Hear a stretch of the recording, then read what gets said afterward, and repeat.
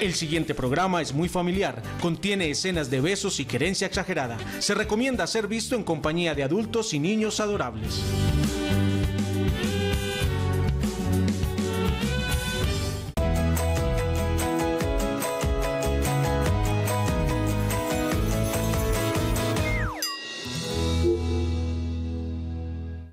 Nos unimos en un arrullo para abrir juntos un camino. Yo te ayudo entre dudas, llanto y caídas, entre risas, besos y abrazos, juntos nos gozamos la vida paso a paso, construyendo desde el amor, paso a paso, para hacernos la vida mejor. Paso a paso, cordial saludo para todos ustedes, los que a esta hora ya están frente a su televisor. Y usted, usted que tal vez está haciendo pataleta en este momento, porque justo cuando quería sentarse a ver paso a paso, entró la llamada que no quería, la visita que no esperaba, se despertó el niño que creía que estaba dormido, está haciendo pataleta porque le están quitando algo que quiere ver, que quiere hacer.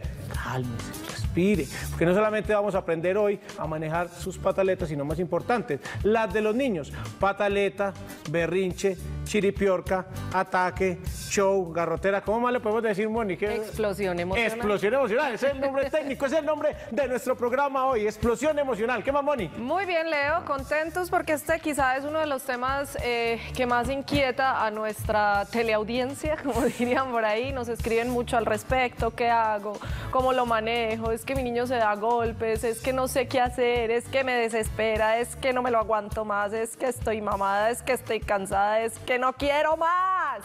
Y resultamos también nosotros teniendo una explosión emocional que pues resulta que esas dos emociones empiezan a generar un caos mayor. ¿Cómo manejar las explosiones emocionales en los niños? ¿Qué nos toca a nosotros como adultos? ¿Por qué se presentan en ellos? ¿Qué es lo que están viviendo? Y eh, cómo acompañarlos mientras pasan esa etapa normal de su desarrollo, que es lo que, entre otras, aprenderemos hoy. Pataletas que nos tocan a todos. Yo creí que venía en blanco hacía mucho tiempo, muchos meses, y hoy, nada más hoy antes de venir al programa, me tocó una. ¿Cuándo fue la última que le tocó lidiar a usted?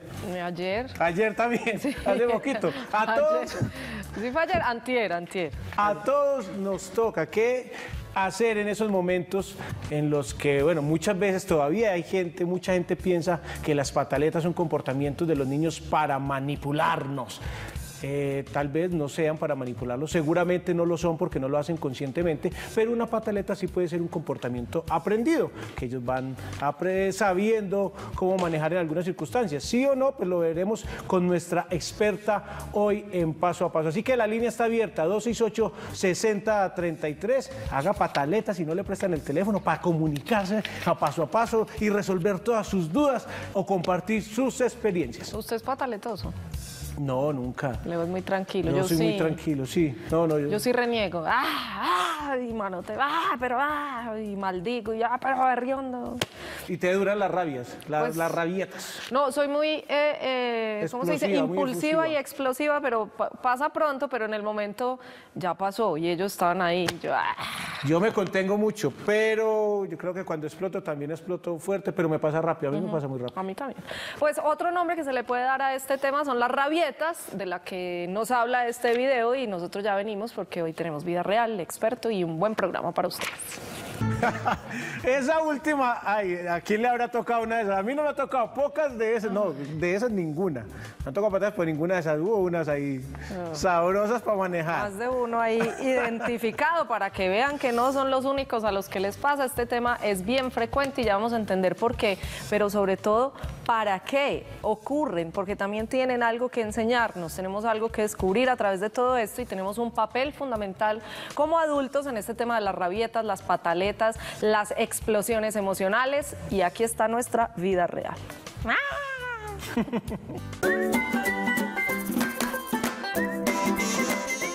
Viviana María Ramírez, Viviana, bienvenida. ¿Cómo estás? gracias. Mamá de Miguel Ángel Rivera Ramírez, que tiene seis años. Sí, señor, seis años. ¿Qué Recién tanto de cumplidos. ángel tiene? Mucho. Es una hermosura. Es una- Es una hermosura. Muy bien, pues bienvenida a, a este tema que como decía yo, cualquiera puede sentar ahí. Eso es absolutamente eh, normal, común, solo que a unos nos desborda más que a otros y hay niños que la hacen más frecuentemente que otros. Incluso eh, yo no recuerdo una pataleta con mi hijo mayor.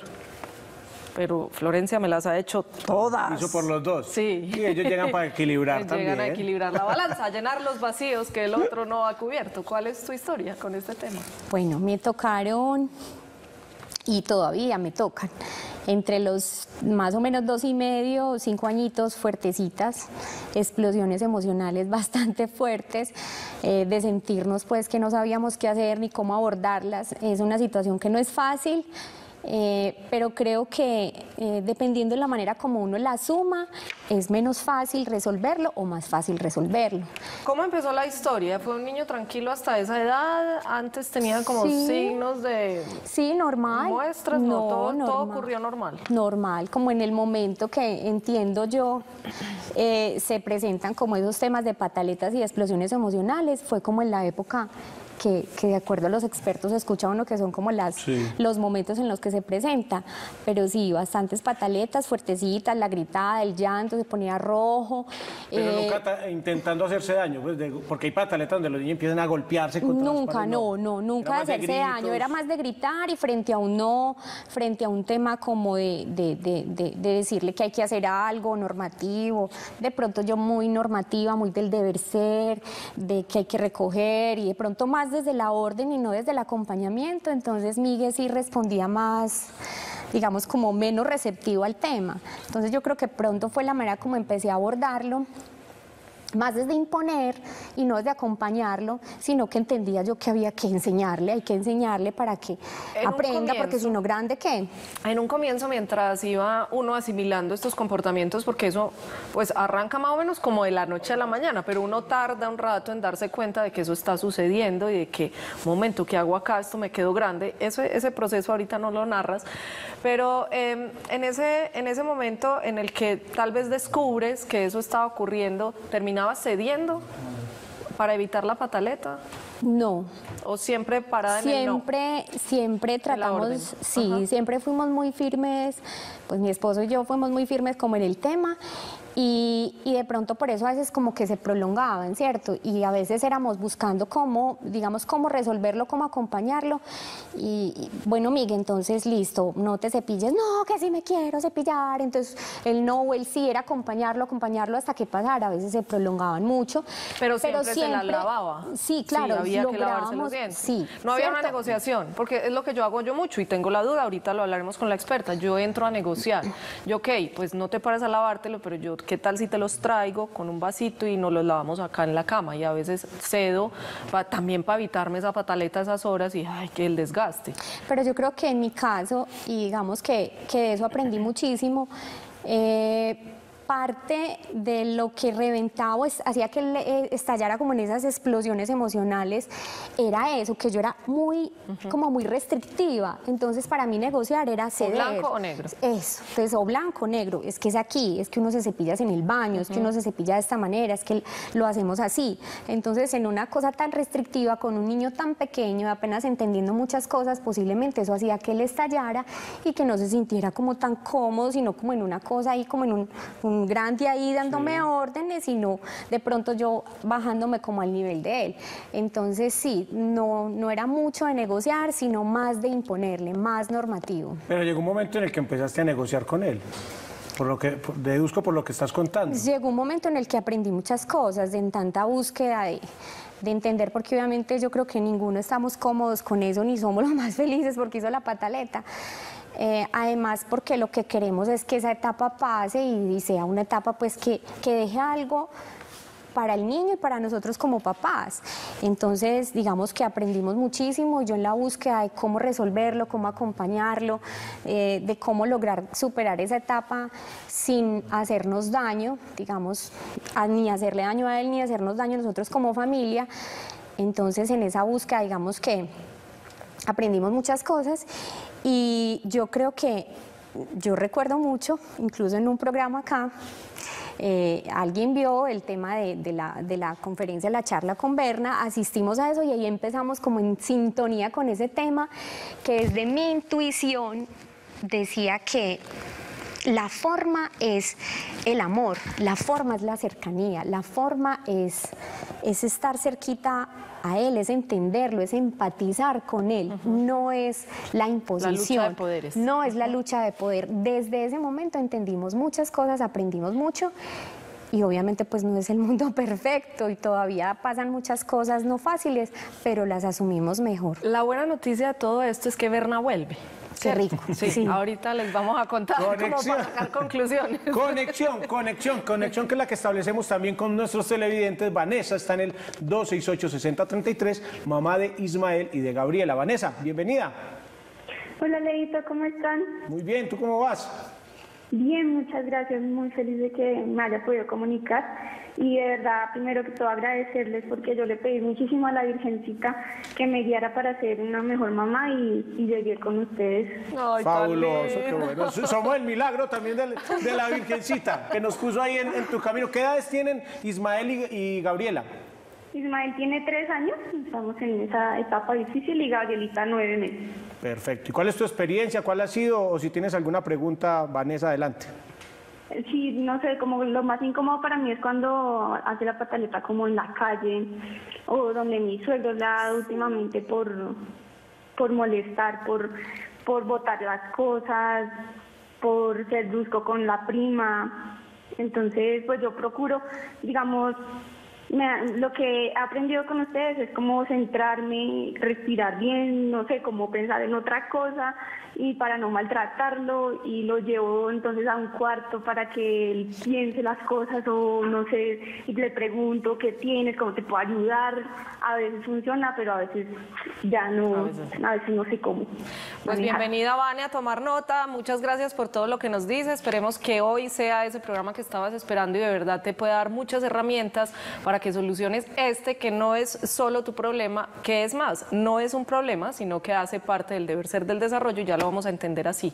Que yo creo que parte de la tranquilidad de muchos es lograr entender que hace parte de y que además son necesarias. Entonces, son necesarias. volviendo a nuestra vida real, quería yo saber cómo fue ese proceso hasta que llegaste a decir, bueno, aquí pasa algo que yo definitivamente no soy capaz de manejar. Esto va más allá de la normalidad que yo me esperaba en esta maternidad. Sí, cuando ya uno siente que definitivamente uno solito no es capaz o que por lo menos necesita una orientación, pues sí, buscar, como el apoyo es buscar ayuda en expertos, ¿cierto? Como acompañarse a algún experto, eh, leer, porque yo creo que a veces hacemos búsquedas incorrectas, el comentario, la opinión, el consejo, ve, vení, ¿qué hago con esto? Pero digamos que todos como en el mismo rollo nos vamos enredando, pero digamos que yo eh, he sido como proactiva con el tema, eh, he buscado acompañarme de profesionales, entre ellos pues Margarita y otras personas, entonces me han orientado mucho y como les decía ahora, escuchar como esa intuición de mamá, para mí no era lógico decirle a Miguel, eh, no pegues o no grites, no me pegues y yo darle la palmada, no grites y el grito, pues como que vos generás en el niño es un- antes una confusión, no le estás no hay enseñando. coherencia ahí. Exacto, entonces eh, eh, esa incoherencia obviamente lo va a confundir a él y, y- y, pues va, va a generar que el tema no, digamos, no se supere o no se resuelva. Entonces ese apoyo en un profesional, esa, eso, esa intuición de uno como mamá, el conocimiento que uno tiene del hijo también, porque digamos que Miguel es, un niño demasiado hermoso, explosivo, alegre, brinca, salta, canta, toca guitarra, batería, hace muchas cosas.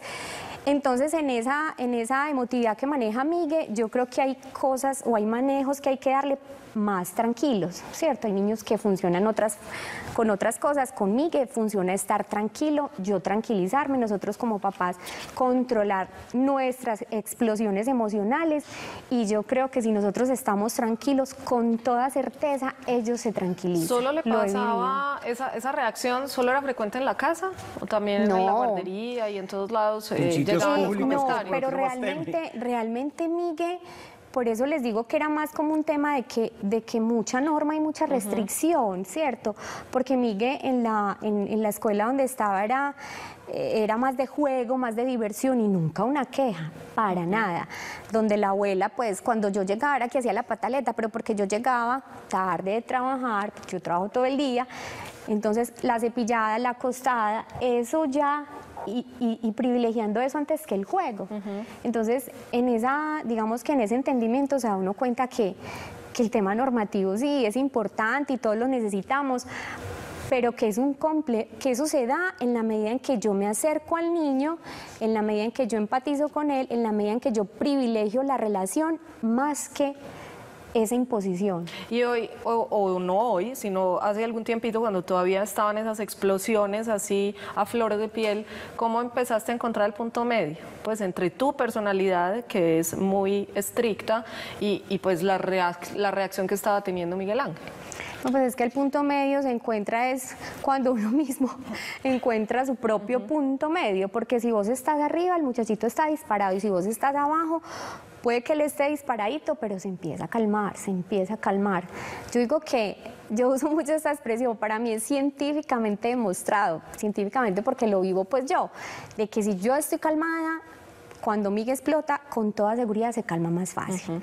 Además de que, pues calmar con una pela, con un golpe, con un grito es momentáneo, ¿cierto? Tran, cualquiera se paraliza, hasta uno como adulto le gritan y uno, ¡ah! o le pegan y uno ve. Pero son reacciones y son controles eh, de momento, pero que de fondo no estás resolviendo nada, no estás educando. Entonces, digamos que eh, en, en la conciencia que uno hace de todas esas cosas, pues obviamente. Entonces ese punto medio lo encuentro cuando se da la pataleta, cuando se da esa explosión emocional, pienso en eso. ¿Qué es lo mejor? ¿Cómo nos sentimos más cómodos? Si después del berrinche todos estamos aquí enloquecidos o estamos calmados, esperamos que pase la pataleta, lo acompañamos, lo acompañamos y la sensación va a ser mejor para todos. ¿Cierto? Quedamos más tranquilos, yo también quedo más tranquila, no quedo con culpa, no quedo con remordimiento, el niño aprende, el niño entiende que las cosas se resuelven de manera distinta, hablando, conversando. Y se ha logrado ese mismo tratamiento con, con tu esposo, que los dos manejen las pataletas de la misma forma, porque es que eso es otro tema, es difícil. O él era el Siempre es uno, exacto, a veces es uno el más estricto, el otro es el permisivo, y ahí es donde se complica el asunto. Han logrado, digamos, llevarlo de la misma forma, ponerse de acuerdo. Sí, eh, digamos que cuando pienso como en el apoyo en todos estos temas, para mí él ha sido, pues obviamente la pareja es un apoyo muy grande y mi esposo ha sido un apoyo gigante porque es una persona espectacular, un papá maravilloso. Y nos ha tocado sintonizarnos en los temas porque él trabaja por fuera, hasta ocho días por fuera, solo viene de descanso tres días, entonces yo soy la que estoy aquí con todo el movimiento El de mi con todo el ajetreo de la semana. de- entonces, y él llega muy chévere a disfrutar del niño, a salir con él porque él viene de descanso, a llevarlo a cine, a acompañarlo a fútbol, a llevarlo a sus clases. Entonces son más compinches y en esa compinchería es hasta chévere porque él también le habla. Le conversan más como amigos y pues el papá es muy receptivo a todo esto porque obviamente los dos estamos interesados en que las cosas funcionen muy bien. Muy bien, pues ya decía yo, puede ser cualquiera que se siente ahí, una vida real, perfecta para nuestro tema de hoy, las explosiones emocionales. Pues primero, muchas gracias por compartirla y segundo, porque también creo que diste puntadas de experta, ya habiendo recorrido el proceso y ya vamos a entrar en detalle con nuestra experta de hoy, que ya es como de la casa, eh, que nos trae además noticias de Berna y todo lo demás lo vamos a conocer después del corte. Muchísimas gracias. Gracias a ustedes. Vamos a la pausa con la frase que nos dice lo siguiente. Puede que sí, puede que te haya hecho daño y que aún sientas dolor. A mí también me duele y lo siento. Esa parte de mí también soy yo. Al menos en el pasado lo fui o lo estoy siendo ahora mismo. Ya volvemos a paso a paso. Estás viendo Paso a Paso.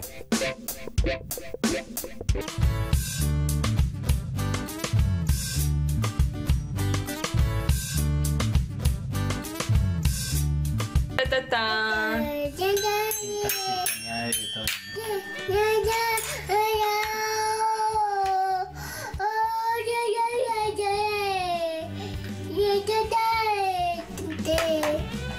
따따따따 따따따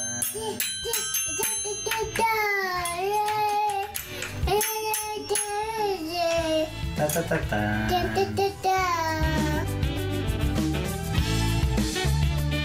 ¿Qué me les parece el talento de Emily? ah? Cantante, silofonista. Ahí está en nuestro mamarazzi de paso a paso. Recuerden que ustedes también pueden enviar sus videos y fotografías a paso a paso arroba telemedellín.tv. En el 268-6033 ya tenemos a Alejandra en la línea mamá de Luciana. Alejandra, ¿cómo estás? Muy bien, gracias. ¿Qué edad tiene Luciana? Tres años. Perfecto. ¿Y cuál es tu pregunta o qué nos quieres contar a propósito de nuestro tema de hoy? Eh, bueno, soy consciente que hay momentos en los que quizás me salgo de casillas y quizás le hablo un poco fuerte, pero es como pues por el momento. Pero eso me ha dado a, entender y aprender de que lo que ellos a veces hacen es aprendido, porque hay momentos en los que ella hace lo mismo, cuando quizás no la escucho, quizás quiere algo y yo no la atiendo, me dice, me habla fuerte, sí me estás escuchando, sí me entendiste. Entonces eso me ha, me ha llevado como a controlarme un poquito y aprender acerca de eso. Pues gracias a Dios no es tan pataletosa, pero hay momentos en los que quizás quieren algo o quizás uno dice no te montes ahí, no hagas esto, no está bien que lo hagas y quizás a ellos no les gusta, pero es muy muy temporal pues lo que ella está haciendo, gracias a Dios, como digo, no es tan pata- pataletosa, pero me ha ayudado a aprender ella misma eso de controlarme, que no es con gritos ni es con palabras fuertes, sino que ellos aprenden pues como de otra de otra forma. Alejandra, pues eh, el hecho de que ya lo pienses, lo sientas, lo reconozcas y lo entiendas, pues yo creo que significa un gran avance en el tema de esta conexión frente a las explosiones emocionales de los niños. Ya tú estás entendiendo que pues ellos aprenden eh, muchas veces por imitación, por no decir todas las veces, y eso creo que es un gran paso en el, en el tema de la crianza de tu hija particularmente. Así que pues felicitaciones, creo que vas por buen camino y sin duda este programa nos seguirá llenando de herramientas para continuarlo. Nos vamos con nuestra experta que ya está aquí en paso a paso.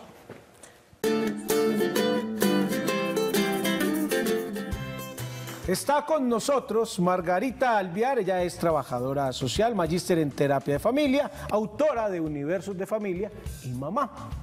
Margarita, bienvenida de nuevo. ¿Cómo Muchas vas? gracias, Leo. Muy bien. Márgara, empecemos por el final, tal vez, eh, porque ya nos dejaron antojados de Berna Iskandar, que sin duda fue una avenida muy exitosa, Colombia, la que tuvo el año pasado también a través de Universo de Familias.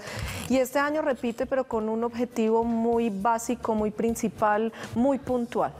Sí, Berna Iskandar es la creadora de Conoce mi Mundo. Conoce mi Mundo es un espacio que ella ha formado para que los papás, las mamás, los profesionales entendamos de cerquita cómo los niños ven y viven el mundo. Arroba Conoce mi Mundo. Arroba Conoce mi Mundo. Berna este año va a estar la última semana de septiembre y la primera de octubre haciendo una gira por Colombia.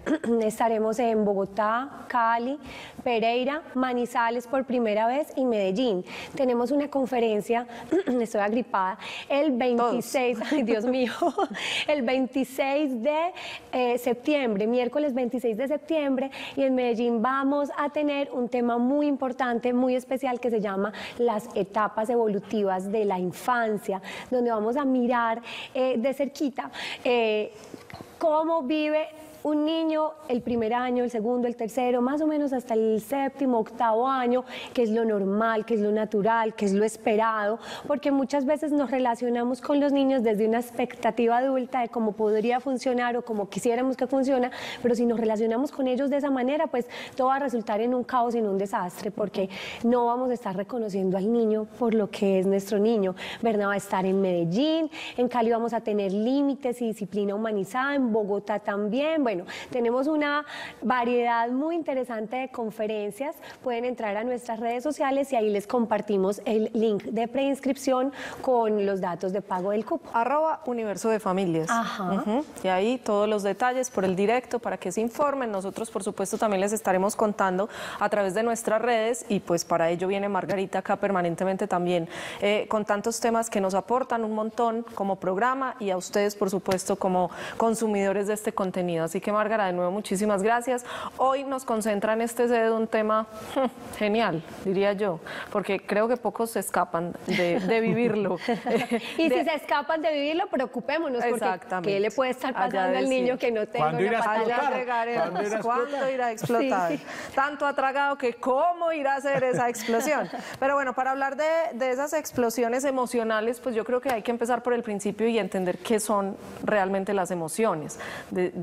Definámosla como de una manera objetiva, porque a veces las definimos según nuestro acomodo, ¿no? según nuestro antojo y nuestra conveniencia.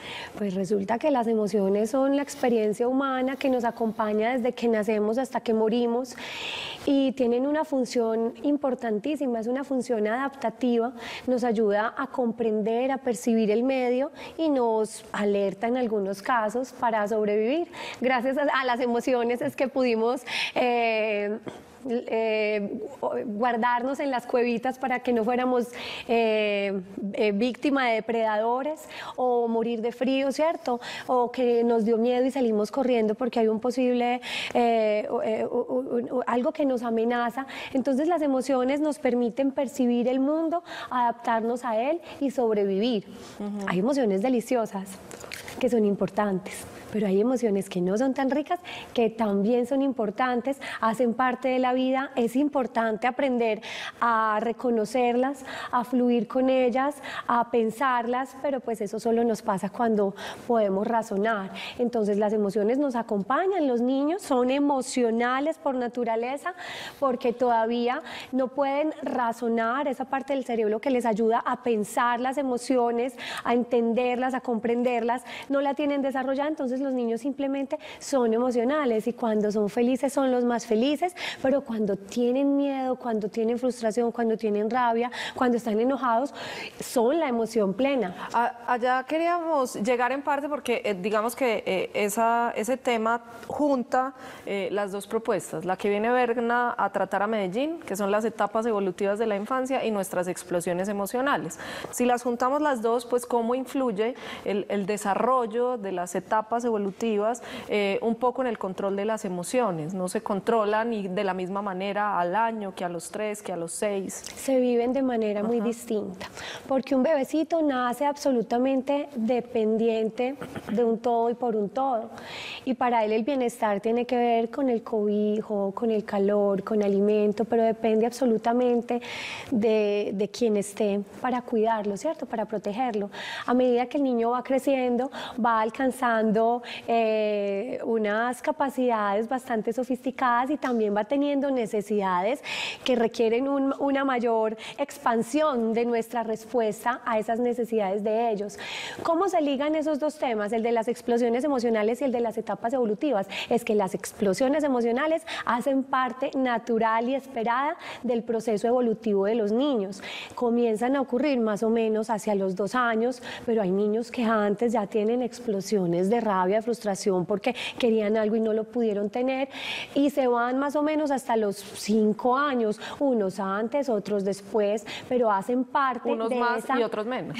unos más, otros menos, también depende mucho del acompañamiento que ellos reciban de esas explosiones emocionales. Eso tiene que ver con la intensidad, con la duración, con la manera en que el niño eh, aprende a reconocer sus propias emociones, aprende a pensarlas con nuestra ayuda. No podemos esperar que un niño en medio de una explosión emocional se calme simplemente con que le hablemos porque se lo decimos, sino que hay que enseñarle. Y ese es un trabajo de mucha paciencia, de mucha constancia, de años de acompañamiento eh, eh, y unas veces nos va mejor que otras, como a los, acompañándolas, como a los niños también unas veces le va mejor que otras viviéndolas.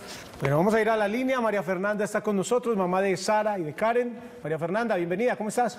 Buenas tardes. ¿Qué edades tienen tus hijas? Tiene dos años y medio la mayor y nueve meses. Muy bien, ¿y cuál es, cuál es tu pregunta? Mi pregunta es, ¿qué tanto puede influir una persona externa en las pataletas? Ejemplo, mi hija de dos años y medio, yo he notado que cuando viene, pues mi suegra vive en Bogotá y cuando ella viene a visitarnos y eso, a mi hija se le incrementan las pataletas. O sea, ella como que ve en la abuela a alguien que la que le deja hacer todo lo que ella quiera, eh, como ella quiera y, y cuando se va mi suegra me deja un problema aquí tenaz, porque la niña ya no quiere hacer caso, ya no, o sea, quiere hacer todo como, como a su manera. Y yo digo, pero ¿por qué? Si es que yo no la tengo enseñada así. ¿Una persona puede influir en eso? María Fernanda, muchísimas gracias. Ay, María Fernanda, no te van a dañar la niña. Menos mal vienes de visita a la abuela. Yo creo que es mm, una cuestión de tiempo, ¿cierto? La niña pasa unos días de bastante alegría, de bastante felicidad, de atención que le presta la abuela a, no sé cuál es la mayor, Sara o Karen, y eso te da a ti tiempo casi que en exclusiva para dedicarte a la más pequeña. Entonces, la mayorcita, pues que tiene toda una atención, juego, mirada, eh, que, tiene mucho para ella, pues se le va a la abuela. Eh, imagínate cómo, cómo se puede sentir eh, la mayorcita. Ahora vuelve a su vida de rutina con una sola mamá para dos niñas que están tan pequeñitas y que tienen unas necesidades. Son- las dos son bebés. Y aunque veas a la pequeñita más bebé que la grandecita, sí, la grandecita ya se desplaza, puede decir palabritas, eh, eh, sigue siendo una bebé que habla, pero que no razona como quisiéramos que razonáramos y nos pasa mucho eso a las mamás de dos. Solemos, o a los papás de dos, solemos ver al mayorcito como en una dimensión, en una dimensión, ya. claro, en una dimensión que todavía no corresponde, pero lo vemos así, pues porque es que tenemos el otro muy chiquitico. Mira, tú tienes en este momento dos bebés, dos bebés que no, eh, que necesitan muchísima atención, sobre todo la mayorcita, pues la pequeñita te necesita a ti todo el tiempo, pero la mayorcita está exploradora, juguetona, se trepa, quiere abrir, eh, tiene una curiosidad que se la proporciona a su edad.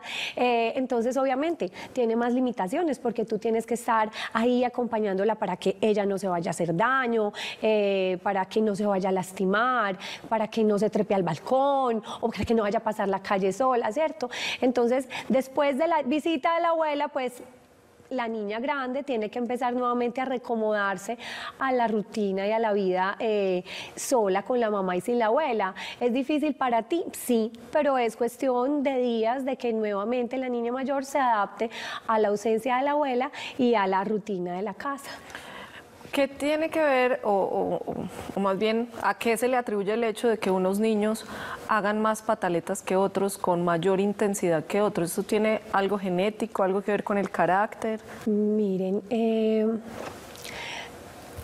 para poder hablar de, eh, de- de las pataletas y de los berrinches es muy importante que tengamos muy claro que cuando un niño eh, se frustra y- o cuando está enojado, cuando está triste, cuando recibe un no por respuesta, él no puede racionalizarlo. El neocórtex que le ayuda a, a pensar y a razonar ese no o ese límite no está desarrollado. Esto Pero lo eso- hemos hablado mucho. Eso le pasa a todos los seres A humanos. todos los seres No importa lo que humanos. traigan en sus genes, A no importa cómo sean humanos. educados. Hay niños más Ahí está. tranquilos, hay niños más explosivos, pero todos los niños nacen con su cerebro inmaduro y todos los niños no pueden llegar a, razón, a razonar como nosotros lo quisiéramos, más o menos hacia los seis años de edad. Estamos hablando de una etapa aproximada, en todos es diferente. Cuando el niño entra en una, eh, eh, eh, en una emoción que lo supera, eh, está atrapado en la amígdala cerebral, está secuestrado en, en esa emoción que no le produce nada de placer, que le ocasiona muchísima rabia. Y no, o sea, no se puede contener aunque nosotros quisiéramos. Grítele, mójelo. O sea, el niño no va, no va a aprender nada de eso. El niño está, está secuestrado, está secuestrado, no oye, no ve y no entiende. Y a todos los niños les pasa, a unos en mayor medida que a otros, todos ahí tenemos que tener muy en cuenta las diferencias, pero en la medida que el adulto acompaña a ese niño en esas explosiones, tiene mucho que ver con eh, la manera en la que el niño va a fluir con esas emociones en esa etapa de la vida y cómo va a aprender a manejar, a fluir, a vivir sus emociones en el futuro. ¿Qué le estamos enseñando eh, a un niño cuando lo acompañamos conscientemente en una pataleta, eh, que tiene rabia, sí, hijo, tienes rabia. O sea, en, el momento, en el momento de la explosión emocional que a todos los niños les da, la, única manera es comprender que su estado es un estado absolutamente eh, poseído, está, poseído, poseído, por la emoción. ¿Qué hacer? Eh, acompáñelo, acompáñelo. Si el niño se va a hacer daño, porque hay niños que se hacen daño, se pegan o, le, o, quieren dañar las cosas. Eh, Buscar contener antes que castigar. Contener, contener, que él no se vaya a hacer daño, que no le vaya a hacer daño a los otros, que no te dañe a ti como papá, como mamá, pero tienes que esperar que la euforia de esa emoción pase para poder empezar a, trabajar con él de otra manera. Hay muchos niños que en medio de, la rabia les gusta ser abrazados. Pero entonces, Margarita, el gran reto, diría yo, para poder eh, enfrentar exitosamente una pataleta es identificar cuál es esa emoción, porque siempre relacionamos la pataleta con ira, con rabia, pero muchas veces e, esa pataleta es producto del miedo, de la frustración, de ansiedad, pueden ser muchas cosas las que hay allá detrás de eso, no solamente rabia, porque sí. Yo creo que son varias las claves. Una es ayudarle al niño a entender cuál es esa emoción, nombrándosela para que él la vaya identificando, no querer parar la vivencia de esa emoción, para que él aprenda que esa emoción que siente es una emoción válida, él la está sintiendo, no se la está inventando, que quería el balón y a nosotros nos parece absurdo porque ya tiene muchos balones, pero eso lo frustró porque nosotros lo racionalizamos y el niño no lo razona de esa manera. Para él lo grande y su deseo es el balón. Entonces una de ellas es ayudarle a entender su emoción, nombrándosela. Eh, lo otro es, eh, y esto es muy clave, es nuestra disponibilidad y nuestra disposición para poder acompañar una explosión emocional, porque no todos los días ni en la hora de la pataleta tenemos la misma disponibilidad para atenderlo desde la calma. Explotamos nosotros primero que ellos. Sí, además porque pues o tuvimos un mal día en el trabajo, el trancón nos hizo perder una cita importantísima, eh, nos pudieron haber pasado cosas que subieron nuestros niveles de estrés o tenemos dificultades económicas, eh, hay una situación personal que no está funcionando bien.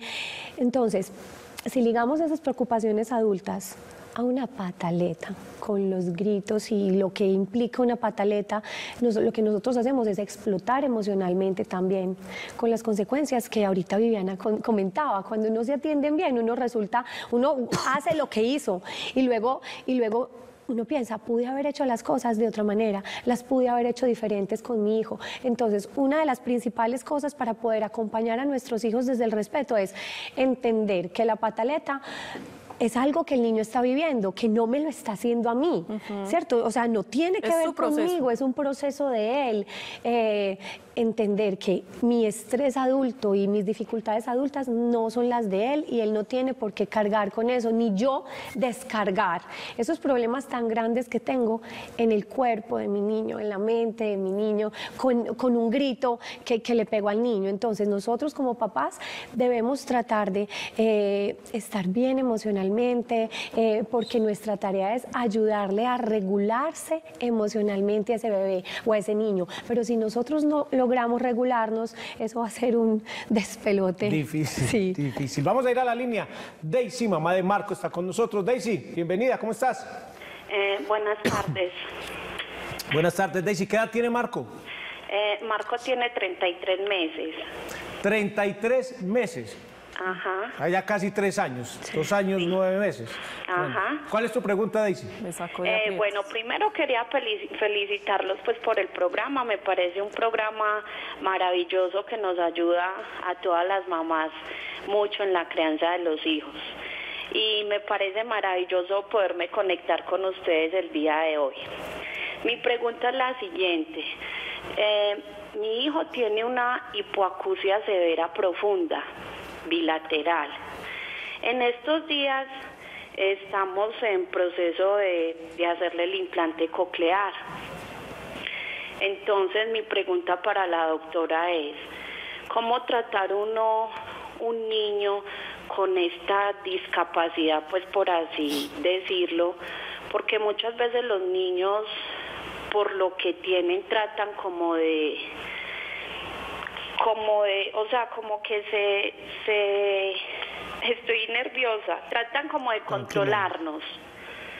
Entonces yo quiero saber cómo manejar a mi hijo por lo que tiene, que no sea feo, que no sea grosero.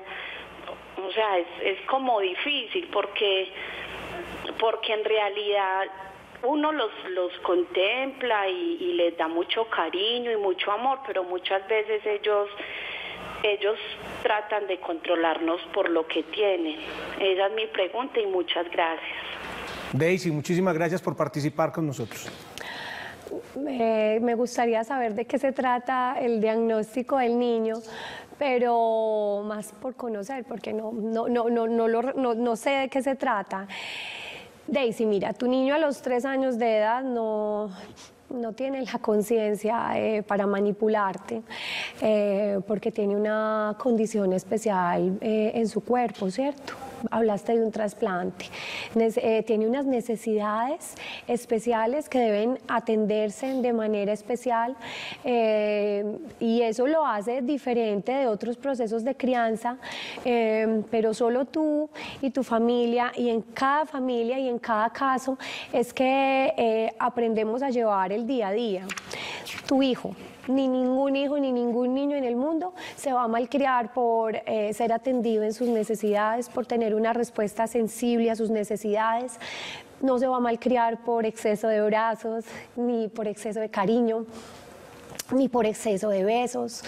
Eh, un niño al que se le hace todo cuando él lo puede hacer, al que no se le niega eh, aquello que no se le debería negar, eh, las necesidades de consumo como la pantalla, eh, los dulces, las chucherías, eh, esas son cosas que tenemos que controlar, ¿cierto?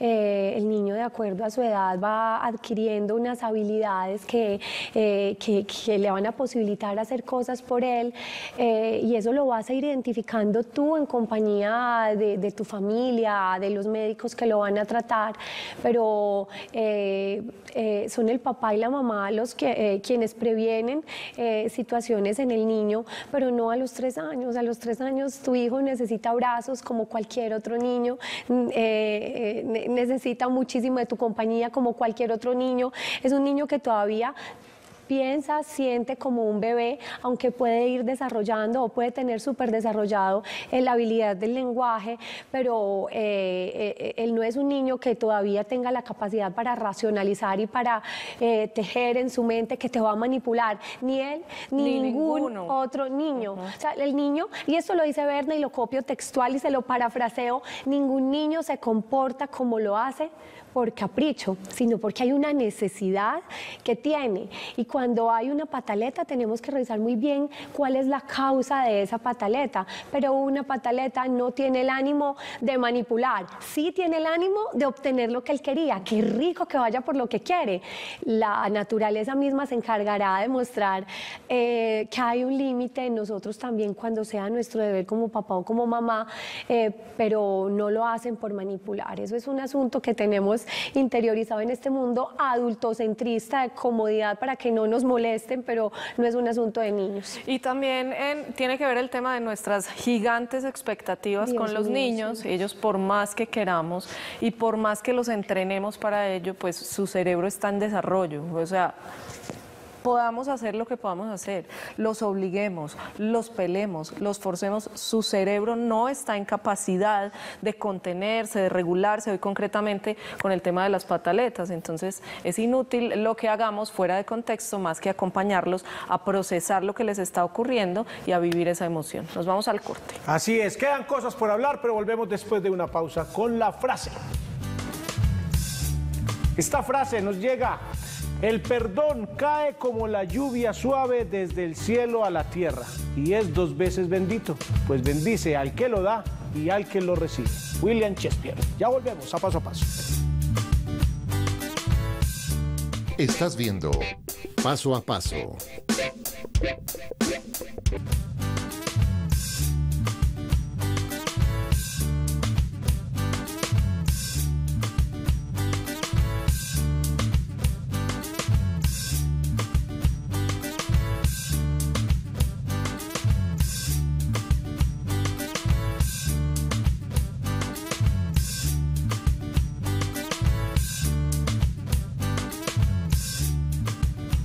Paloma y Julieta están en nuestro Mamarazzi. Yo Hoy me hablamos. mido. ¿ah? Me mido a besar ese sapo. A ver, dale, dale, sí.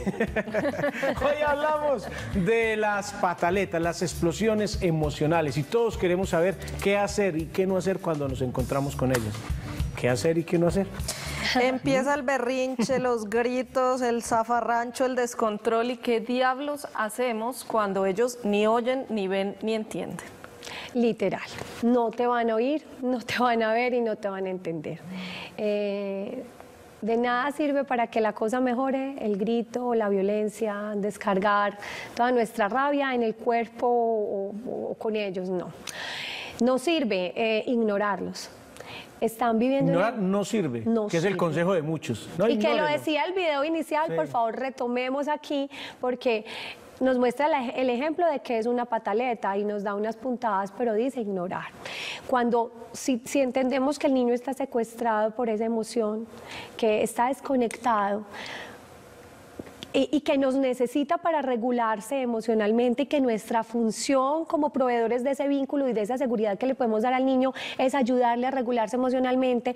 Si lo ignoramos, lo estamos dejando inválido y solo con una emoción que él no es capaz de comprender, que no es capaz de procesar. Lo dejamos solo para que se canse de llorar porque realmente se va a cansar y va a dejar de llorar, pero no aprendió nada, no lo acompañamos, no le ayudamos, no hicimos Él no está nada. procesando O sea, nada. Tan grave como, como agredirlo es también ignorarlo. Si lo mandamos fuera y el niño se queda solo con su emoción, ¿qué va a procesar? O sea, O sea, el niño- vete a llorar a tu cuarto y cuando termines vuelves, no. Hablamos. No, no, vaya a pensar, aplica. va a pensar por qué está llorando, por qué le dio la pataleta. O sea, a- a- al, niño, al niño nosotros acompañémoslo. Si permite que lo abracemos, lo abrazamos. Si no permite que lo abracemos y se está agrediendo, sostengámoslo sin hacerle daño para que no nos pegue a nosotros o no se pegue él o no le pegue a otro. Sos- pero el niño se debe sentir acompañado y eso es una tarea importantísima, ayudarle a regularse emocionalmente. Es Su cerebro veces, nos necesita. Y creo que aquí hay un punto importante para aclarar, y es que en el momento de la pataleta tememos acompañarlos, darles un abrazo, porque sentimos que los estamos premiando, Premiando. por su berrinche. No, o sea, el niño, o sea, si entendemos que el niño sufre, porque el niño sufre, y el motivo puede ser la cuchara rosada que no le dimos, pero el niño se, se desconectó por eso, y es normal, son cosas a nuestros ojos adultos. eh, que, que inveros- inverosímiles, pero esos, ese es el mundo de los niños. ¿Qué sirve? Entender que eh, las pataletas, los berrinches, las explosiones emocionales son características naturales, saludables, esperadas de una edad. Es una edad bastante difícil. Antes de los dos años a veces comienza, se va más o menos hasta los cinco años. No quiere decir que el niño a los cinco años, a los papás y a las mamás de niños más grandecitos que ya no las vayan a hacer, sí las van a hacer, pero no tirados en el piso, en el supermercado, no. ¿Qué pasa en esos lugares públicos? En los lugares públicos, piensen ustedes qué es lo que más temor les da.